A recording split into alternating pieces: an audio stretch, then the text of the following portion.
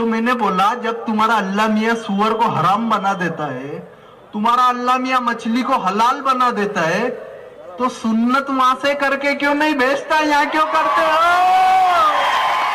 वालेकुम दोस्तों, मैं हूँ शारिफ खान। आज की इस वीडियो में देखने वाले हो आप कि एक हमारे हिंदू पंडित हैं जो लाखों लोगों की भीड़ में खड़े होकर के इस्लाम धर्म और मुसलमानों को चैलेंज करते हैं।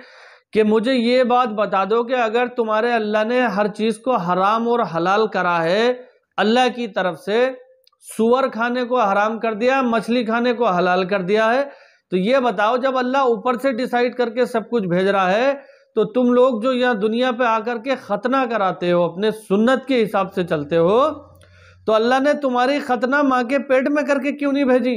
अल्लाह अपनी तरफ़ से तुम्हारी खतना करके भेजता, अगर सब कुछ तुम्हारा अल्लाह करने वाला है।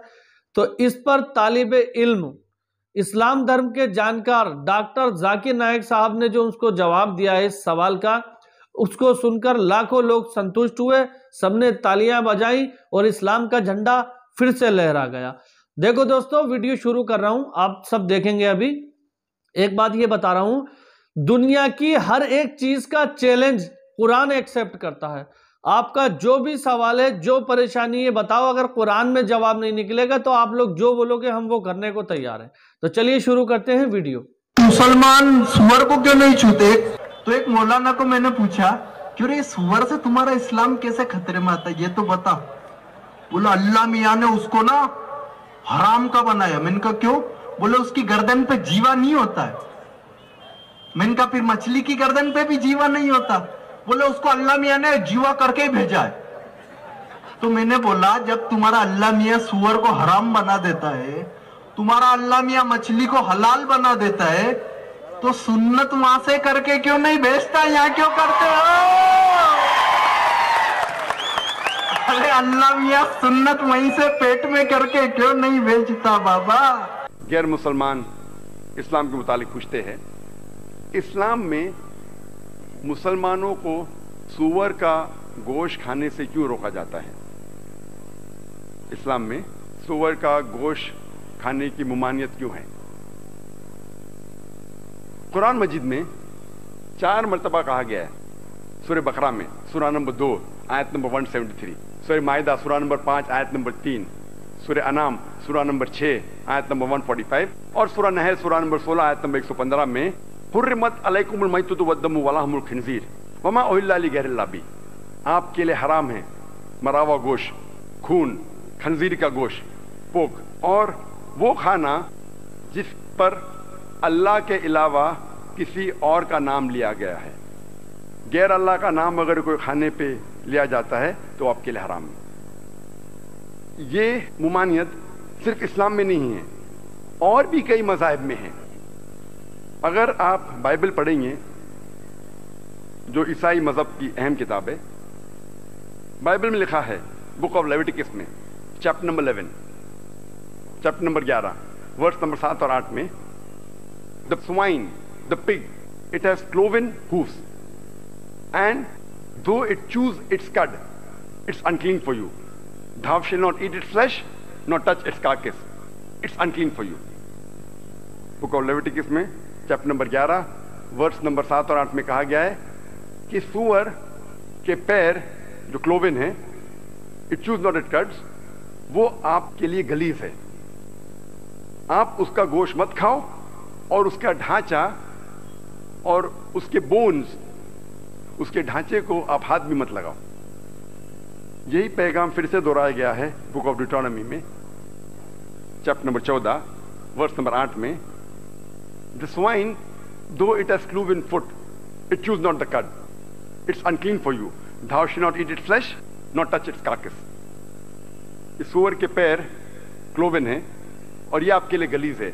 ना आप उसका गोश्त खाएँगे, ना आप उसके ढांचे को हाथ लगाएँगे। ये पैगाम फिर से दोहराया गया है बुक ऑफ़ आइजाया में, चैप्टर नंबर पैंसठ वर्ष नंबर दो से पाँच में। कई जगह बाइबल में लिखा है कि सुअर का गोश्त खाना हराम है। सिर्फ़ बाइबल में ही नहीं, जब आप हिंदू मज़हब की किताब को पढ़ते हैं, हिंदू मज़हब की किताब में भी लिखा है, मनुस्मृति में लिखा है, चैप्टर नंबर पाँच में, कि एक ब्राह्मण है ट्वाइस बॉर्न एक ब्राह्मण है, वो कभी भी मशरूम, सुअर या गार्लिक या मुर्गा ये कभी भी नहीं खाएगा। उसके आगे लिखा है विष्णु सूत्रा, के कोई भी अगर हराम गोश्त को बेचता है, जिसके माने सुअर का गोश्त आप उसके हाथ या पैर को काटो। कुरान या हदीस में कहीं भी नहीं लिखा है कि कोई अगर सुअर का गोश्त बेचता है तो उसके हाथ या पैर को काटना चाहिए। लेकिन ये हिंदू मज़हब में है। अभी हम देखेंगे, कोशिश करेंगे, मंतिक के ज़रिए लॉजिक और साइंस के ज़रिए जानने के लिए कि अल्लाह सुबहाना व ताला ने खंजीर का गोश्त सुअर का गोश्त खाने से क्यों हमें रोका है? आज की साइंस ये कहती है कि खंजीर खाने से, सुअर का गोश्त खाने से तकरीबन सत्तर से ज़्यादा बीमारी आपको हो सकती है। मिसाल के तौर पे pin worm round worm hook worm कई वर्म्स है जो आपको हो सकते हैं सुअर के गोश्त खाने से। और सबसे खतरनाक जो हेलमेंट है, जो बीमारी है, वो टीनिया सोलियम, जिसे आम लोग कहते हैं टेप वर्म और ये टेप वर्म जो है, काफ़ी लंबा होता है 20 से 30 फीट और मात्रा में रहता है। और इसके जो अंडे हैं, वो खून के ज़रिए आपके जिस्म के कई आज़ा में जा सकते हैं। अगर दिमाग में जाएँगे, ब्रेन में जाएँगे तो it can cause brain damage आँख में जाएँगे तो अंधे हो सकते हैं, दिल में जाएँगे तो हार्ट अटैक हो सकता है। आपके कई आज़ा में जा सकते हैं। और जब तक आपको पता लगता है कि आप इस बीमारी के शिकार है, तब तक बहुत देर हो जाती है। आज की साइंस ये कहती है कि सुअर का गोश्त खाने से अक्सर ये फैट बिल्डिंग मटेरियल है। इससे आप में चर्बी ज़्यादा होती है। और चांसेस है कि आपको आर्थ्रोस्क्रोसिस हो सकता है हाइपरटेंशन और हार्ट अटैक भी। इसीलिए आप जब अमेरिकन स्टैटिस्टिक देखेंगे तो 50 फ़ीसद से ज़्यादा लोग को हाइपरटेंशन है। टेंशन की बीमारी है। खून में हाइपरटेंशन और इसकी अहम वजह है कि अक्सर अमेरिकन सोर का गोश खाते हैं। साइंस आज ये कहती है कि सुअर ऐसा जानवर है, और हम भी जानते हैं। अक्सर जिधर भी गिलाजत है, सुअर को आप उधर ही पाएँगे जहाँ गिलाजत है। मिसाल के तौर पे हम जब गाँव जाते हैं, जिस तरीके से मॉडर्न सिटीज़ में टॉयलेट है, बैतुल खला है, उस तरीके से तो गाँव में तो नहीं है। और जब लोग गाँव में ओपन ग्राउंड में अपनी हाजत पूरे करने जाते हैं। आप अक्सर देखेंगे कि सुअर उसके बाद आता है और उसे साफ़ करता है। और कुछ लोग ये कहते हैं कि ये थर्ड वर्ल्ड कंट्रीज़ में हो सकता है कि सुअर गंदे जगह में रहता है। लेकिन जो एडवांस कंट्री है, जो कंट्री तरक्की कर चुकी है, मिसाल के तौर पर ऑस्ट्रेलिया, वहाँ तो सुअर की अच्छी देखभाल होती है। आप जब ऑस्ट्रेलिया में भी जाएँगे जहाँ सुअर की देखभाल होती है उसे कहते हैं स्टाई। उधर भी आप देखेंगे सुअर अपना खुद जब गिलाजत करता है, वो खुद खाता है। उधर भी आप 24 घंटे आदमी रखते हैं क्या देखने के लिए, कब गिलाजत करता कब उठाएँगे आप? वो खुद की गिलाजत खाता है।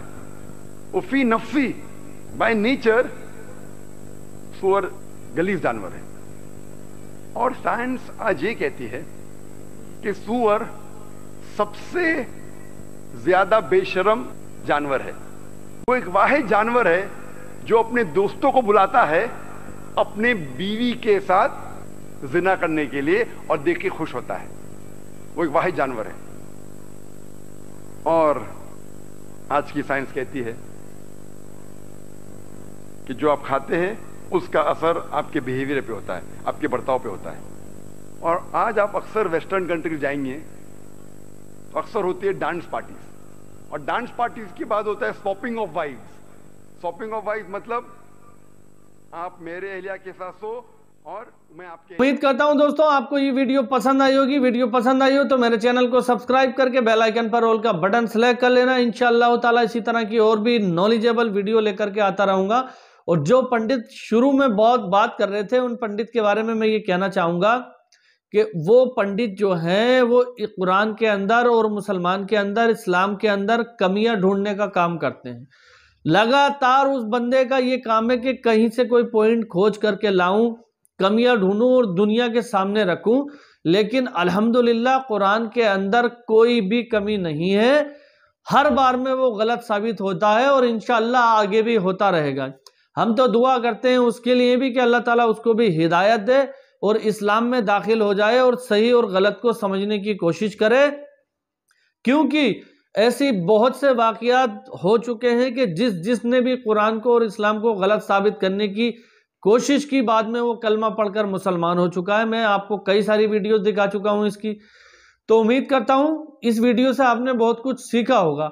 तो खुदा हाफिज, अपने भाई को दुआओं में याद रखना। इंशाल्लाह फिर मिलूँगा एक नई वीडियो के साथ।